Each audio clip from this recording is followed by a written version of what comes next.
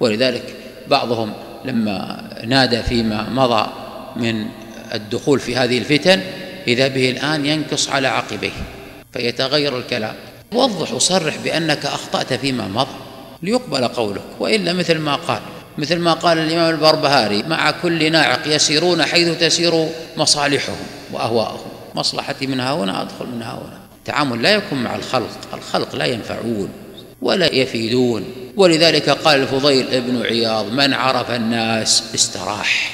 يقول من عرف الناس استراح من عرف أن الناس لا يملكون نفعا ولا يدفعون ضرا استراح. تعلق قلبه بالله عز وجل.